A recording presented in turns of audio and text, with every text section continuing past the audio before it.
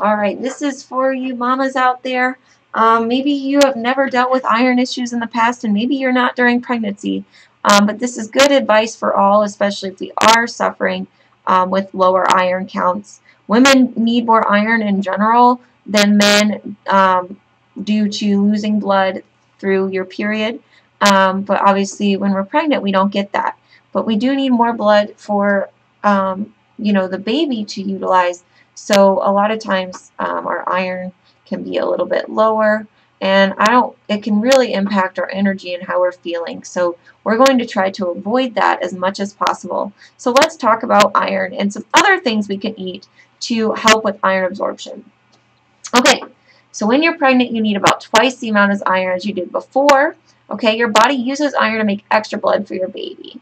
All right um, that hemoglobin um, is going to be that word, that iron word that I'm going to use, okay? Um, iron helps move oxygen from your lungs to the rest of your body and to your babies. So you can see this is very, very important. Um, having anemia or not getting enough iron can cause your baby to be born too small or too early. So it's really, really important that we are getting enough iron. Okay, so when should I start taking iron? So the Center of Disease Control recommends taking a low-dose iron supplement or about 30 milligrams a day when you have your first prenatal appointments. Um, again, most of your prenatal vitamins already have this, okay?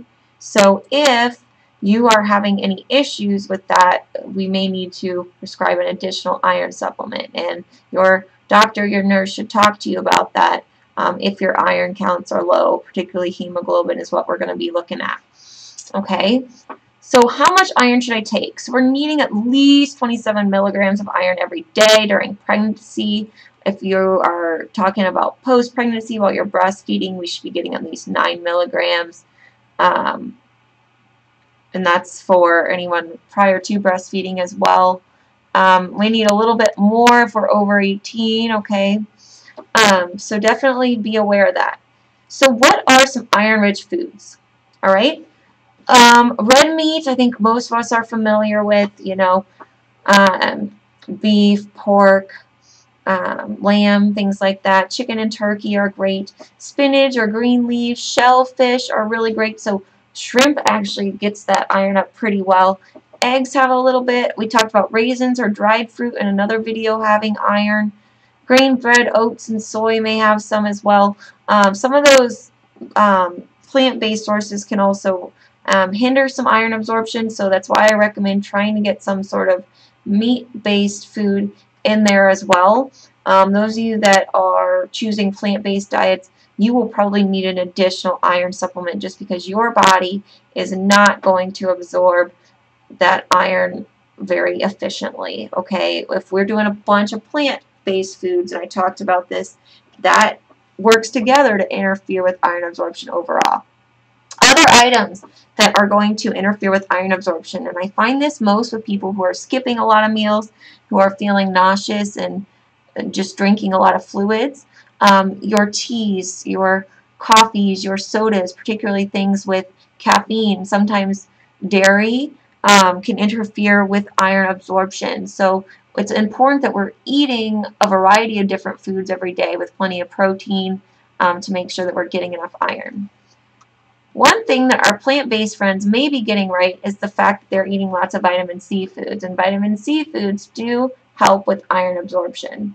So those of you that are taking prenatal vitamins or an iron supplement, you may have heard your doctor or your nurse recommend drinking like half a cup of orange juice with that. It's because orange juice has a large amount of vitamin C um, and it gets to your system very quickly with it being juice. Now I kind of mentioned being careful with juice in our My Plate video. Again, you'd only be doing about half a cup. If you could do 100% fruit juice instead of concentrate, those are going to give you way more nutrients and benefits.